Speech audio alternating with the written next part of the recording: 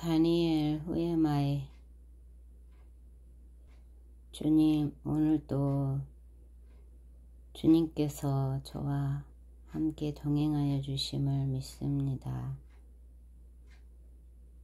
아버지께 전화합니다.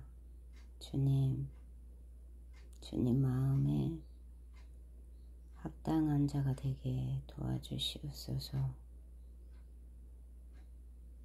내 생각이 아닌 아버지의 뜻을 따르는 선이 되고 싶습니다.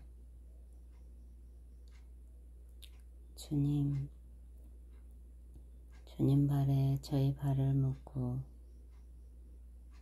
주님의 기저등의 손에 의지하여 오늘도 승리하는 삶이 되기를 두 손 모아 기도합니다. 그리고 주님 앞에 전화합니다.